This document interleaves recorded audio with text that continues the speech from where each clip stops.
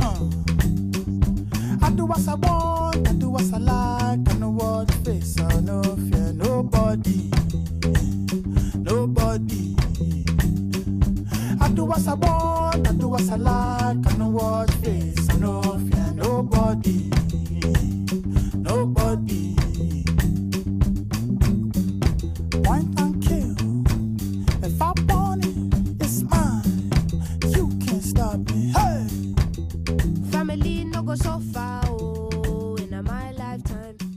Hi guys, welcome back to Africa for Dummies. We uh, took a short break there, but we're back. Joined as always by me, Nathan, and my co-host, Mr. Zenge. Hello, everybody.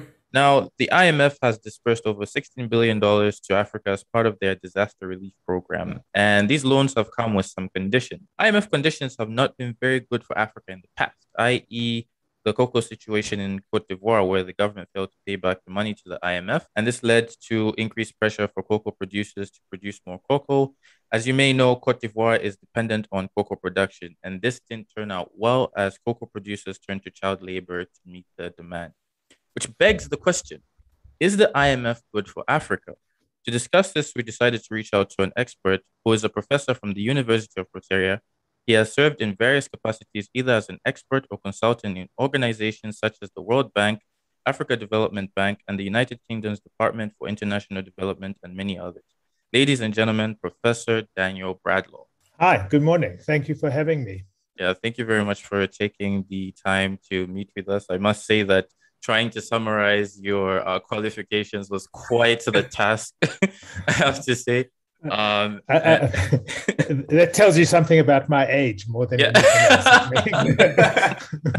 yeah. So to start the interview, some people may not know what the IMF is or what exactly they do. So just to start out to get people caught up, what is the IMF's job and what is its role in relation to Africa? so the IMF was set up. Let me give you some history as background. I think so. The IMF was set up uh, at the Bretton Woods Conference in 1944 to establish um, the post Second World War international monetary order, and it's in the job it was supposed to. It was set up to do at the time was to oversee a system of rel- relatively fixed exchange rates um, based on a fixed link between the US dollar and gold at $35 an ounce of gold. Um, and the IMF would oversee that system by looking to make sure that countries were following the policies needed to keep their relatively fixed value of currency. Um, and if necessary, giving them money to support them uh, in order to, to keep that par value, uh, the fixed value of their currency. That system ended in 1971. And since then, the IMF's role has been constantly evolving. So even though it's still sort of uh, technically an international monetary institution, the role that it plays is much broader than that.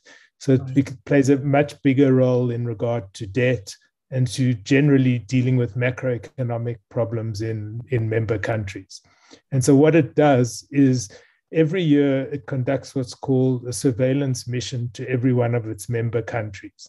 Mm. And initially that was to see is it following the policies that would allow it to maintain the balance of, pow- of payment situation that would uh, help it keep the value of its currency fixed.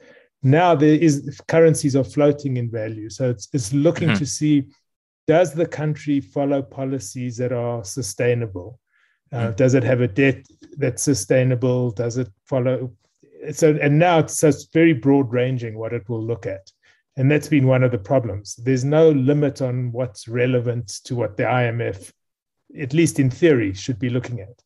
And now that the IMF is beginning to look at issues like inequality and climate change, Uh, there's almost nothing that the, that's quite- excluded yes, from. Yeah. expanded.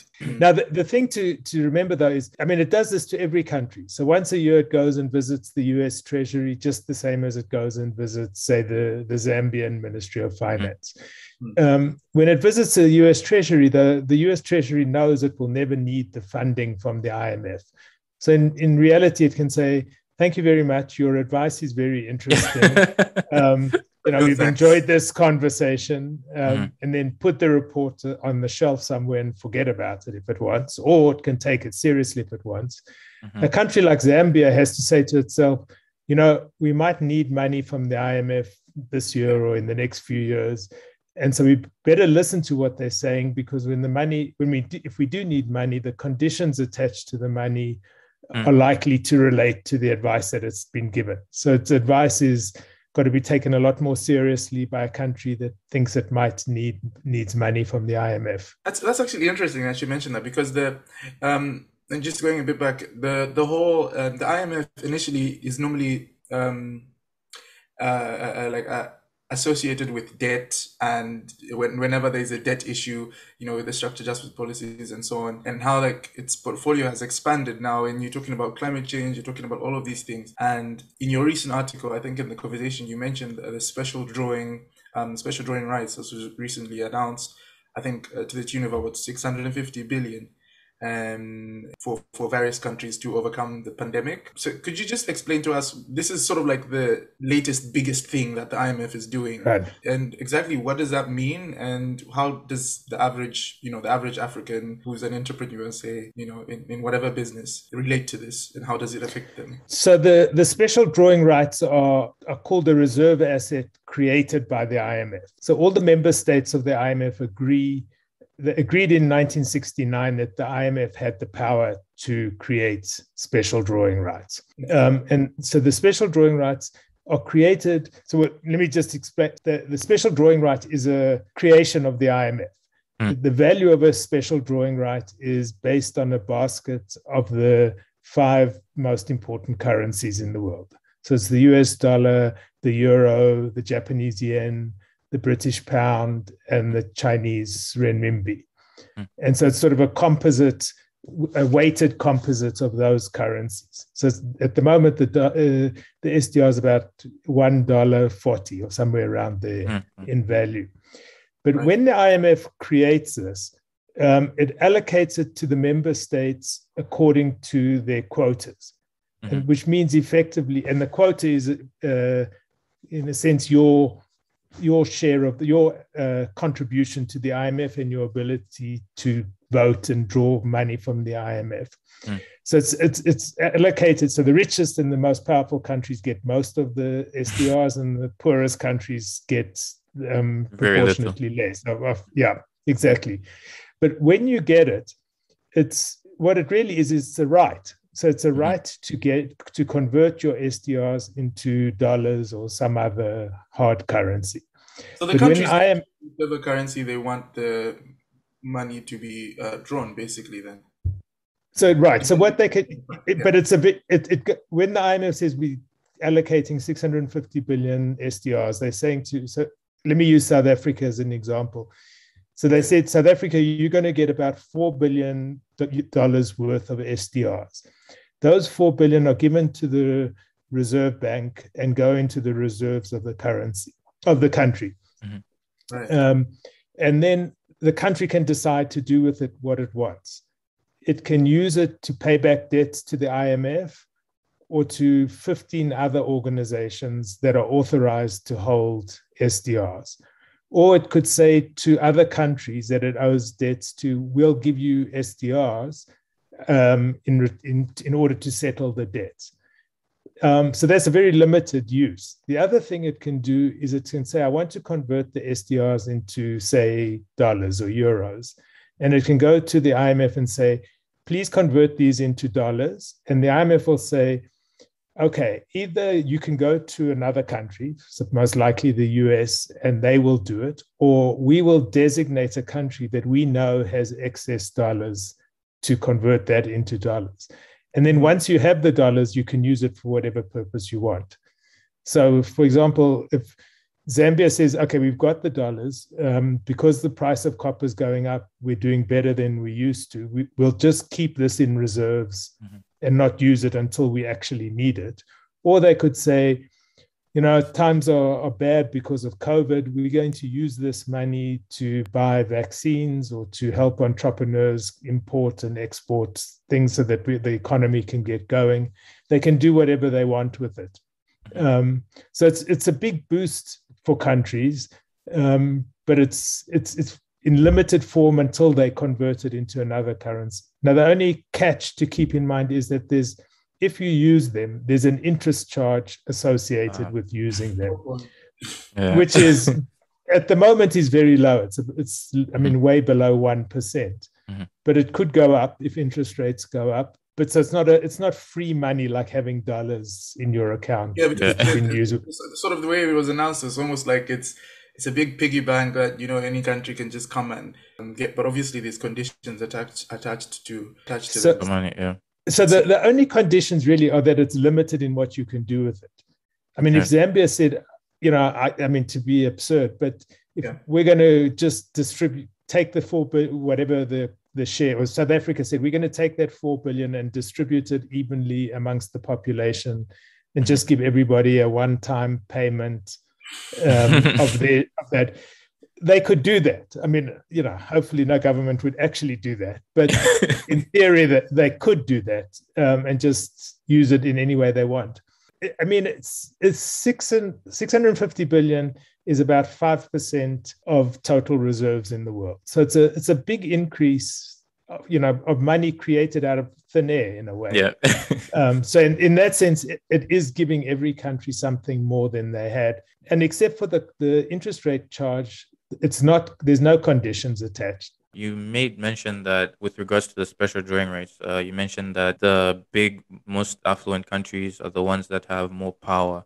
So, do you think that these Western countries, for example, I believe the US has the biggest seat, do you think that the IMF kind of is heavily influenced by what they determine to be good or bad, for example? For example, you mentioned that climate change is a big issue and they're looking into co- countries to kind of promote that type of stuff. But what about a country whose priority it's not climate change per se because they have other burdening issues? So, to what degree is this? How much influence does West do Western countries or more affluent countries have on the IMF? So they, I would say they have a disproportionate interest uh, Mm. influence. I mean, for example, the reason the um, SDR allocation only happened uh, last month and not a year ago, when it was clear that many countries needed it a year ago, Mm. is because the US on decisions like that. So the US has about 17% of the total quota. Mm. In order to issue SDRs, big you share. have to have it, which is a big share. Though, as a footnote to that, you should know that if the US share truly reflected its role in the global economy, it would probably have closer to 20%. Wow. So it's it's I mean some of it's just a reflection of the role of the US and its size in the global economy. But the effect is that it because it has 17%, uh, and the, in order to issue SDRs, you have to have a vote of a majority of 85% shares vote, uh, quotas voting for the SDR allocation. When Donald Trump was the president, he wasn't willing to agree. And so, even though almost every other country in the world agreed there should be an allocation of SDRs, uh, the US blocked it until the president changed, and then you then Which it isn't- could go forward. Which isn't too atypical of uh, Donald Trump. Right. I, I mean, that's the danger with having, you know, someone have too much power, is it? Mm. You get the wrong person there and it becomes a problem. Mhm. Um, Yes. So the US has a lot of influence. I, and it's not just the US. I mean, the Europeans as a group could have done the same thing. Um, I, I mean, China has a, a big vote, but it should have a big vote because it's a, a big part of the global economy. I, I mean, it, it, the part of the problem with the World Bank and the IMF is that they have what's called weighted voting. So, unlike the UN, where it's one country, one vote, here your vote depends on a formula which essentially looks at the size of the country's economy and its role in the global economy. I mean, you can debate, you know, one country, one vote means Lesotho has the same vote as China and India. Um, and if you think about the populations of those countries, Mm. it's not necessarily fair that Yeah. Lesotho should have the same vote. So, what exactly fair voting is is is not such a simple question. So it comes down to an argument of representation or fairness. Because if we're looking at fairness, it's going to end up becoming more about whoever has the most money or the biggest share get the biggest say. But then again, if the IMF is meant to be sort of this major financial safety net, essentially, for the global economy, would it be fair for the richest countries to be the biggest, the biggest stakeholders and uh, you know does it actually help these like you know poorer countries to develop uh, in terms of its representation in the economy and what it can bargain for when it comes to yeah. finance access to finance? So it's a bit of a difficult dilemma in terms of the fairness and representation isn't it? It, it is. And it, it's a legacy issue in su- to some extent not completely but Hmm. i mean when the sdr was was created for example in 1969 remember for a lot of african countries that was soon after independence Mhm. and they weren't they were just joining the imf and they didn't play an active role really and so that what was being decided at the time was for the small relatively small group of countries who actually were real the active and important participants in the global economy today that's i mean the world's changed dramatically from that Mm. and so that it's it's no longer makes as much sense as it might have made. I, think you could debate whether it made sense even in 1969 but it, it, it certainly made more sense then than it does now. I mean that's why one of the big debates now just to to give some jargon is what the imf calls channeling of the sdrs channeling So- of the SDRs. so what everyone says okay so the rich countries have got sdrs that they don't need. They're just going to sit in their reserves and do nothing they should rechannel those and send them in a way that they can be used by the countries that actually need them Mhm. um, and the question is how do you do that I was just going to ask that. Yeah. so, How do, you, do you do it bilaterally? Do you say, okay, US give me this amount of money, France give me this amount of money, or is it all an agreed portion? You know, one percent, two percent, or five percent? Or well so that's the, the debate um, I, mean historically there've been certainly been some bilateral donations um, and some uh, so there's basically three three uh, options on the table which they i mean in principle there could be many options but these three are probably the ones that are have got the most traction at the moment. Not necessarily the best but they've got the most traction. So the, the first is that uh, countries could contribute their SDRs to the IMF has a trust fund called the Poverty Reduction and Growth Trust, and which is uh, you would know from that was where a lot of the money that was came through the HIPC uh, debt Oh, initiatives. the, the uh, adjustment, uh, right. right? So, so it, so, the, and there are two problems with the PRGT. One is that um, it's only available to low-income countries. Hmm. So that's countries, you know, the poorest countries on a per capita basis, uh, Yeah. whereas many middle-income countries actually have serious needs um, that need to be met. And as you probably know, most of the poor people in the world now live in middle income countries, not low income countries. And so having the money only available to low income countries is a, is a problem. Hmm. The second problem is the SDRs, as they are now, as I said, are, don't have conditions attached to them. Funding through the PRGT, as you said, has is the his, the legacy of structural adjustment. So they have lots of policy conditions. And what sorts of conditions the IMF might attach to SDRs now, of course, is is a, is going to be a big debate. And the history of the PRGT doesn't suggest uh, that one could be very comf- comfortable with the kinds of conditions that they w- could attach. And that, I mean, Africa in particular has a, a history of pain with in in regard Yeah, to it- the it's- it's- There's a bit of a history there. yeah. So, so So- that's the, the the problem with the PRGTs Mm. is how do Yeah, you so- deal with that? So to simplify, basically, the the P, the poverty, um, you said poverty, inequality, and growth trust, right? No, poverty reduction Or poverty and reduction, growth. right? Poverty reduction and growth.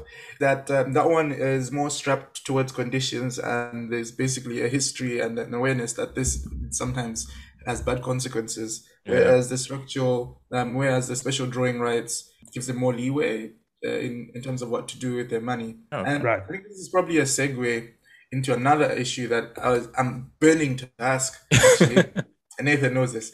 Yeah. Um, we seem to be sort of like going around in circles. As you said earlier, the structure adjustment policy, you know, the IMF, uh, and for our listeners, just a recap, you know, the um, in the 80s and 90s, I think the IMF came in due to massive amounts of unsustainable debt across the developing world and basically put countries on a track for liberalization. uh, And it coincided with democratization.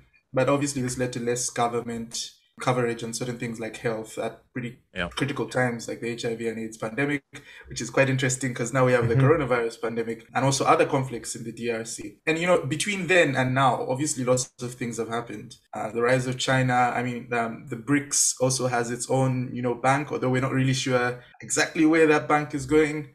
So there's lots of alternatives to the IMF. You'd think that by now there should be some different alternatives, homegrown solutions, either from Africa or you know, does is there why why essentially should Africa continuously have to deal with the IMF? And there are other options basically. two things to keep in mind about that, I suppose. One is yes, there are other options. I mean, there's the World Bank or the African Development Bank, and as you'll know, they they were as much part of the Washington Consensus and the conditions that were attached in the 80s and 90s as the IMF. Yeah. They've all evolved, and I, I, I mean, I think it's not accurate to say that they would expect exactly the same conditions then that they did now. I think they've been humbled and have learned that um, they did, the, the lack of success. now as well. The Well, it's also, I mean, they've learned that it failed.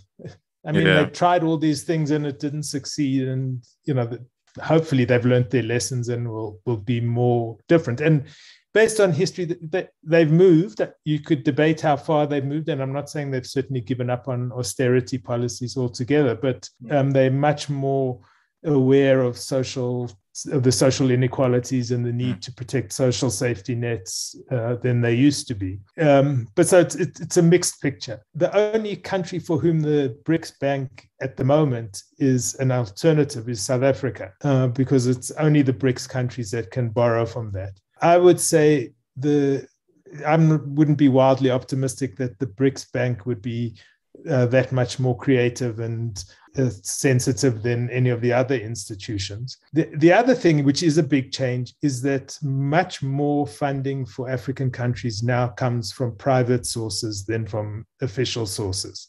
Hmm. So there's, I mean, and uh, for example, markets- there, the bond markets the, mar- the, finan- the bond markets, Mm. banks, and they tend to be less policy, less policy conditions attached. And as long as you're paying back the debt, you're fine. But the minute you run into a problem paying the debt, they're likely to be a lot more strict than Yeah. the IMF or any of the other institutions. So that's so in that sense, uh, it's not. It is an alternative, and it's it's competition, and that's good. But it's it's it's. I would say, you know, approach them with caution. Um, so that it, it's a it's a mixed bag. I, the other thing to remember about the IMF and the World Bank is that African countries are members of those institutions and have Yeah. rights as members of those institutions. And whether Africa uses those rights as effectively as they should is something that also needs to be thought about. And if not, then I think we also need to look at ourselves and say, you know, we need to make sure that our governments are using the, these institutions as effectively as they can. You, we've only got a certain amount of bargaining power, but we've got bargaining power, and, and whether we're using that as well as we could is, is a, an important issue as well. Away anti bougie, ile oh I fancy when I Hey guys, I hope you're enjoying the episode. Thank you very much for checking it out. Be sure to check out our Instagram page where you can get updates on the latest episodes and also get the opportunity to ask the fan question. Stay tuned to our YouTube channel for we've got great stuff coming there and you'll get to also see this episode uh, visually up there. Um, if you guys are liking the song, the name of the song is Point and Kill by Little Simz and Obijanya. I'm pronouncing that correctly. But yeah, thank you very much for rocking with Africa for Dummies. Now back to the episode. Said I do as I want, I do as I like. I watch face, I know fear nobody. No fear nobody. Actually, there was one question I also wanted to ask. An economist named, uh, you may not or may or may not know him, uh, Milton Friedman. He wrote this. he wrote a, uh, uh, he You wrote may not know that. he he wrote a paper called "No More Money to the IMF," basically, and in that paper, he basically stated that the IMF doesn't necessarily help developing countries and other countries, but only helps them postpone the inevitable, the the time to pay back. Um, do you agree with that statement, or or not? The thing with Milton Friedman was uh, he was thinking mainly about rich people, I think, when in all his discussions That- about Yeah. free, uh, free Maybe market. Someone agrees with me, Nathan. and that um, I because you know the IMF's it, it, it might be a problem, but it's a necessary evil in the world because. I, I mean, if, if a country's in really desperate condition, I mean, for example, if when Zambia stopped paying its creditors last year, if no, Yeah. that nobody's going to lend it money, of an African country in the pandemic. yeah. So no one was going to lend uh, Zambia any more money after that uh, from the private side. The only country, the only institutions that would are going to be the institutions like the IMF and the World Bank and the African Development Bank. Um, and maybe some bilateral creditors. And so you need you need that money. I mean, it, it, the cost of not having that money is people in Zambia would have been, you know, would have had less money to buy the vaccines, to buy medicines, to buy protective gear, Mm. to buy food in some cases. And so the suffering would have been much worse. The, so you know the conditions might be harsh. There might there's certainly problems with the IMF, but without it, I think in many cases countries could be worse off.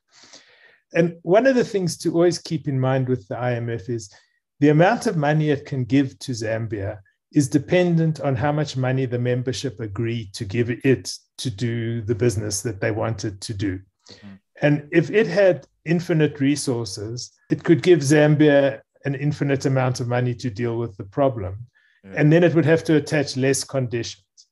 I mean, I think, I mean, we know from personal experience that no lender gives you significant amount of money without some conditions attached to it. Yeah. You know, I mean, There's always Um, a catch. there's always a catch. I, and it's responsible. I mean, if you're going to give your money out to someone, you know, to lend it to them, you want to know that it's going to be used for the purpose that you Yeah. want it to be. You think they should use it for, um, and they're going to resent you if you start asking too many questions. and that's just the nature of of debtors and creditors. But the conditions of uh, part of the problem in the 80s was the conditions were ideologically driven in the neoliberal sort of height of the neoliberal order. But some of the conditions are if we're giving you a little bit of money, we need to make absolutely certain that it's going to particular purposes. If we can give you five times that amount of money, we can afford to be more lenient and to allow you to use it in a more uh, flexible way. Mm. And so that part of the problem with the IMF is how stingy other countries are in wanting to give money to the IMF. If they wanted Okay. to say instead of having a trillion dollars of resources, you could have 10 trillion dollars of resources, the, the game would be a very different game. Mm. I'm not saying they would, you know, it wouldn't have conditions and there wouldn't be issues, but it would be a different set of issues. Yeah, definitely. And that kind of leads me to this other question. In Zambia has changed its president right now. And, you know, he's sort of come in and kind of shown people, hey, I don't have any money or anything like that. You know, he made a statement that um, the reserves are empty. And, you know, he's doing things like traveling on a commercial plane and all these types of things. And austerity, austerity type Yeah. of, at least And- on, Yeah. the, on the outside. yeah, so he's it, it seems Yeah. like he's trying to show IMF and other uh, organizations like, oh, we're we're actually going to be serious. We're going to do this and all these types of things. Do you think that the IMF is going to buy his bluff, or do you think they're going to be like, hey, look, this is the situation. You guys need to pay your money back. I, you know, at the end of the day, all finance is about money, Yeah, and every creditor only cares about getting their money back yeah, at the yeah. end. So, I, I mean, I can't speak for the IMF, but I mm. think in essence, what the creditors will say is, look, it's good that you're doing all these things. You're trying to convey a message that we approve of to the people, and we take that's a sign that you're serious. But now we need to talk about how much money can you pay back, and on what schedule are you going to pay it back, and let's make sure that it's it's it, it suits our needs. Mhm. What he I think what he's hoping to achieve is to say, you know, we're serious. We want to pay you. We want to do it in a way that is consistent with meeting the needs of our people. And you need to take me seriously because you can see I'm doing what I can. I'm trying to convey all the right messages, and I have a plan. Um, you might not agree with every aspect of the plan, but we can talk about that. But it's a serious plan. Mhm. Um, and uh, you know, I, I mean, if he can do that, then he gets taken seriously. Um, whether he, how much of it, the debate he wins, and how much he convinces the IMF to change, is of course that depends on negotiations. And uh, you know, yeah. I wish him luck. But Yeah. That's also interesting. Yeah, but that's also interesting about what these African, well, how, how, to the, the the extent to which they can convince the IMF. Because I mean, obviously the IMF looks at it also um, on a case by case basis. But I mean, around the region, Mozambique uh, was seen to have, you know, sort of undervalued and not been extremely trustworthy when it comes to talking about the, the amount of debt that they have, which caused a bit of shocks there. And then Angola is dealing with its debt with China in a different way. Raises some eyebrows, but it seems to have sort of um, settled down a bit. Uh, I'm not too sure. I haven't been following on that one. But basically, what um, what what le- amount of bargaining power do African countries actually have when it comes to uh, negotiating their debt with these um, international organizations? I mean, they have some bargaining power because you know, I mean, the, the creditors want to be paid back. They they know that it has to be done in a way that is sustainable for the country ultimately. The creditors if can, can literally like punish the country, uh, so to speak. That uh, punish is probably. I, I mean, let, let me. I suppose I don't know. To be fair to the creditors, their argument would be: is look, the country agreed when it took out the debt that it would pay it back on a certain schedule, and that you know the world depends on everybody living up to their promises. If the country is now breaking its promise, why should we be the ones that suffer? I mean, that's their their view. And it's And- a fair argument to be, yeah. if we can't, can't rely on people to live up to their promises, how does the world work? I mean, if you if you can't trust anybody to do that, it's a problem. On the other hand, when the countries when the creditors lent the money to Zambia, many of them knew what was going on in the country and whether how likely it what, what the risks were and how likely it was that the country could actually pay back the money. Some of them were just hoping they could get the money, they could sell the debt in the in the bond markets, Yeah. and get out before the, the trouble began. So they should also share some of the pain and some of the responsibility. Um, so it's it's a it's a question. I mean, when Mozambique essentially lied about the fact that it had borrowed two billion dollars in a corrupt transaction and hidden that fact from its own people as well as the IMF, you know, that's that's a very serious problem. And unfortunately, the people end up paying the price for the government's irresponsibility. But when it comes to the bargaining, it's a, then it's a question. There are two things. I mean, the, Zambia has bargaining power because the creditors want the money back, and Zambia's. I mean, nobody wants the people of Zambia to suffer more than than is necessary, given the situation in the country as it is. So that gives some bargaining power. Part of the question is how do you use that in the most effective way possible, um, and can the country make you know convince the creditors that when it says look this is the we can pay you back and we understand we made a commitment and we have to honor that commitment but i mean the price of copper is not what it used to be there are all sorts of other problems that we need to deal with here's a schedule that will allow us to pay you back that we believe we can live with and that here's why we believe that and here's what we're doing to make sure that the economy is going to keep growing and that we're going to meet all our obligations Yeah. consistently and sustainably, you get a better hearing. You know, it's a question of bargaining power. How you increase your bargaining power, in principle, the best way to do that is to have Africa bargain as a as, As a, a unit Mm. rather than as a individual countries. But historically, getting countries to agree and to bargain collectively is extremely difficult. Yeah, I was just about to ask if that's realistic or I, I can't think of anywhere that Even at least regionally, um, on an SADC or EAC ECOWAS level, at least, uh, that would probably be easier Uh, in terms of bargaining because I think collectively the SADC together would be around 700 billion in terms of GDP, 800 billion. I'm not too sure. Yeah, but So- remember, the those levels. creditors of Zambia are South African banks, for Yeah. example. Which which makes it more difficult So to, yeah, to, so, to so- collectively bargain. right. So bargaining collectively around the debts becomes difficult. Where Africa can increase its power is Yeah. in saying in the decision making structures of the IMF, we need more representation and more voice. Now, historically, people have said the way to do that is to change the quotas so that uh, Africa, that the US has less, or the rich countries, particularly the Europeans, have less, and Africans have more. The problem is, Africa, because Africa hasn't been growing, if you Mm. actually apply the formula, African votes, most countries' votes would quotas would go down. Mm. There are a few countries where it would go up, but it's it's not it's not going to lead to a very happy outcome for the whole continent. But the one thing that has happened in the World Bank and could happen in the IMF is currently there are two executive directors at the World Bank. So that's like the board of directors of the bank that run the affairs of the IMF.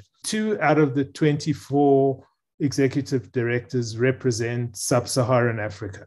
So that means roughly 22 countries are represented by one director. That, that's a very ineffective way of, uh, and very unfair way of rep- having Africa represented because no human being can truly represent 22 Yeah. countries with Yeah. all their complications. It's just not humanly possible, I don't think.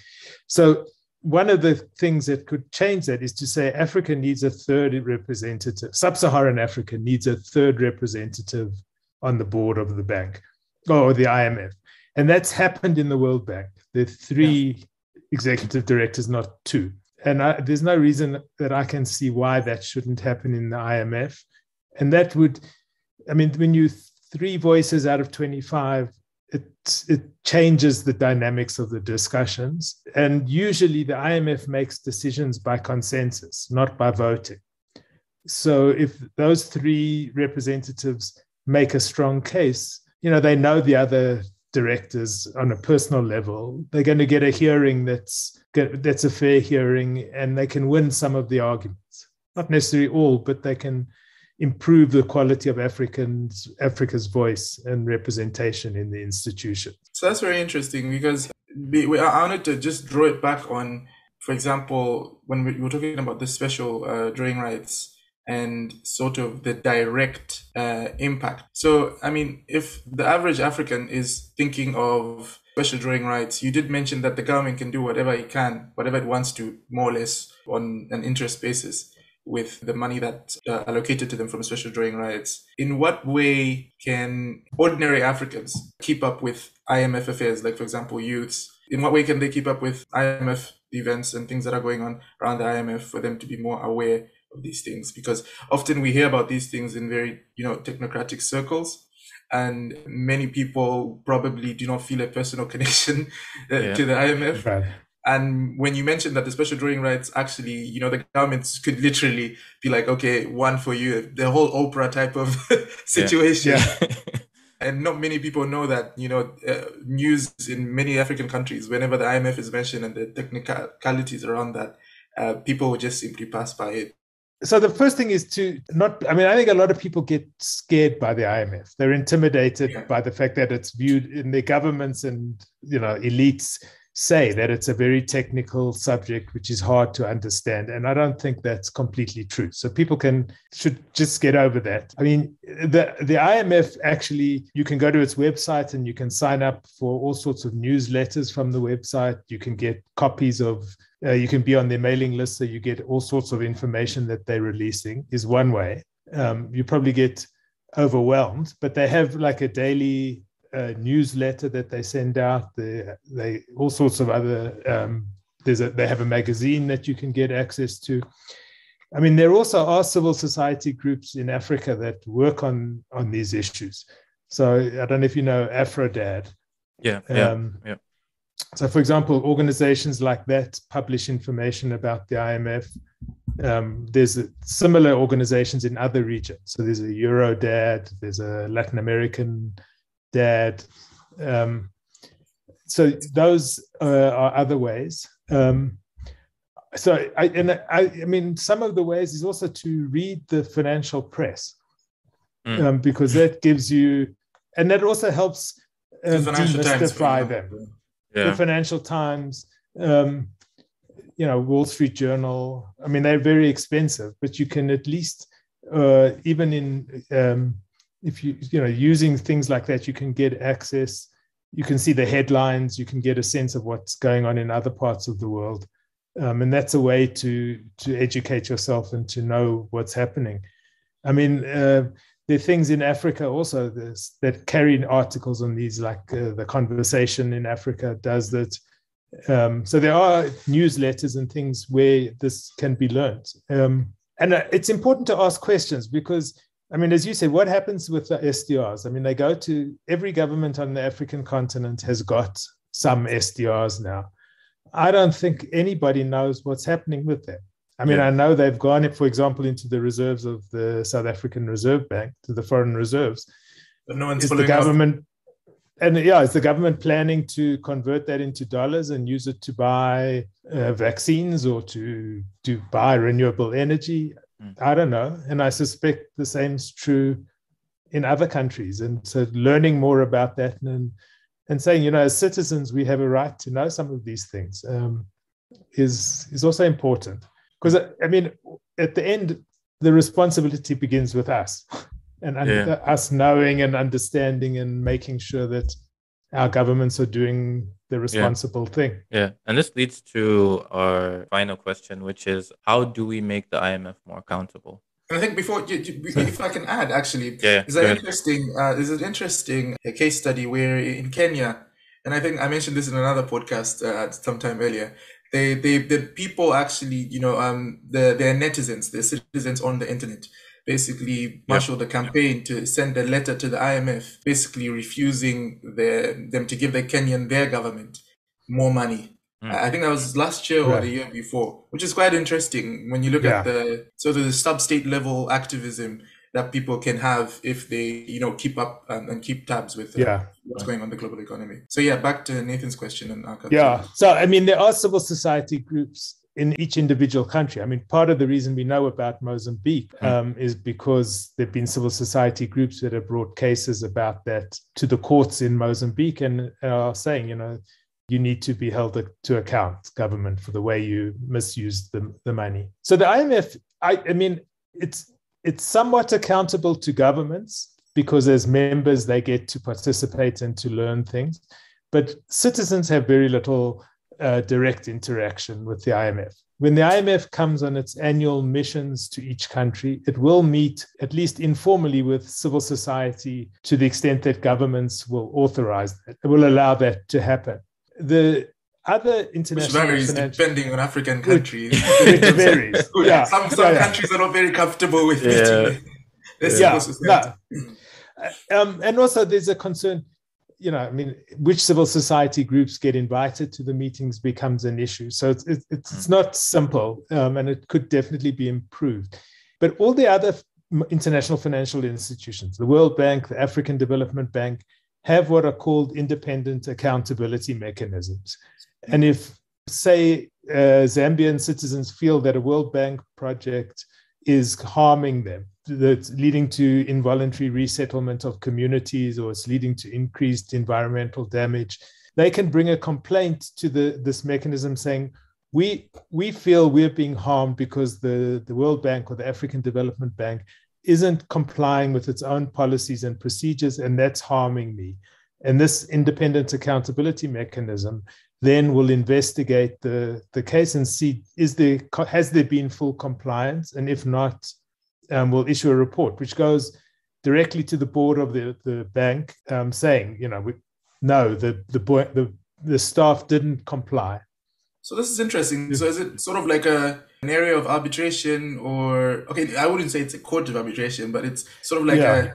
a an area of arbitration for um, those who don't have the power of the state to hmm. hold these gigantic it's uh, so so there's two there are two aspects one aspect is to investigate it's an investigation to yeah. look into was there compliance by the bank with its yeah. own policies and procedures in all of the cases now there's a second part which is called dispute resolution that um, they will the, use their good offices to facilitate dispute resolution between the community that says we've been harmed and the sponsor of the project, which might be a private company, it might be a state owned enterprise.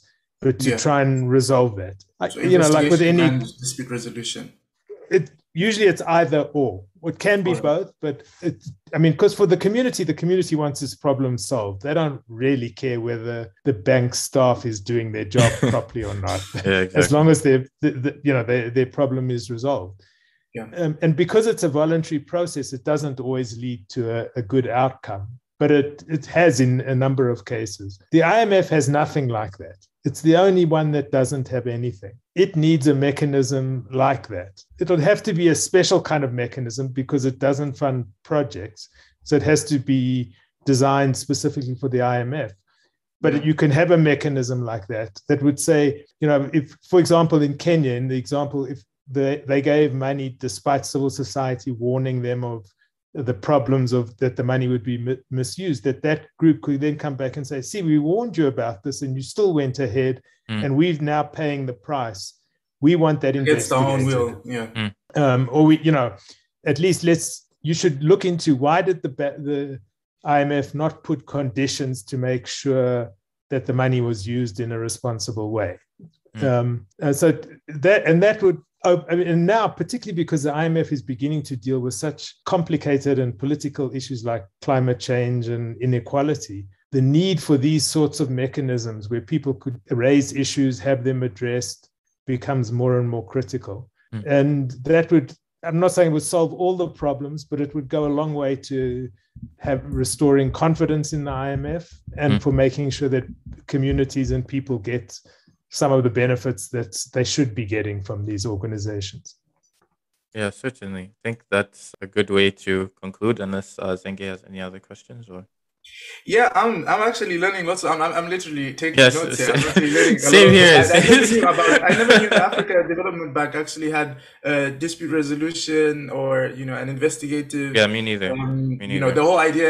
Everyone just thinks these are really up in the air type of organizations that are you know Yeah. just part of the club of leaders and and so on, which is very interesting. And I think that's a big takeaway for a lot of our listeners because many people, um, especially um, African youth, Exactly. uh, really are completely detached when it comes to the IMF. It's really So- something very I think, distant. yeah, I think it's very So- important. yeah. So you should go look on the African Development Bank website at the independent recourse mechanism. That's the, the name. mechanism. Yeah. And in the World Bank, it's called the inspection panel. And you can see all the cases because there have been a lot of cases in Africa in both. But I mean, obviously, the African Development Bank's all cases are in Africa, but the the World Bank has also had many cases there. Yeah, that's as Zengi said. I think it's very important for us as African youth to participate or at least understand what's going on because I think in the end we're the we're the people that are left to bear the burden uh, of some of the decisions yeah. that uh, that they make. And as Zengi said, for me, I think I used to put the IMF in this box where it's like, oh, it's just for technocrats, it's just for um, you know, Unless, people that unless are- you work with IMF or unless you work yeah uh, exactly like, things yeah. things like that so i think it's important to kind of demystify uh, what these organizations Yeah. do and, and, and, and why they're here so thank you very much professor bradlow for for helping us at least understand um, the imf a little bit better and uh, i hope that was very beneficial to all of our listeners and we'll link the article Put from some the links out conversation there. Yeah, from the That's uh, for the conversation. World uh, Bank. yeah, for the World IMF. Bank. All the, the, the links that you uh, put there. So, on behalf of all the dummies, which we call our fans, um, we thank you. we thank you very much, Professor Bradlow, for joining us. Thank you. Uh, I'm sure that was the most inaccurate thing you said. that you've yeah.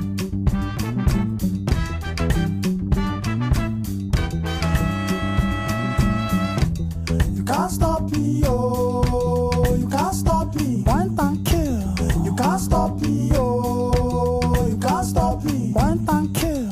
You can't stop me, oh, you can't stop me. Point and kill. You can't stop me, oh, you can't stop me.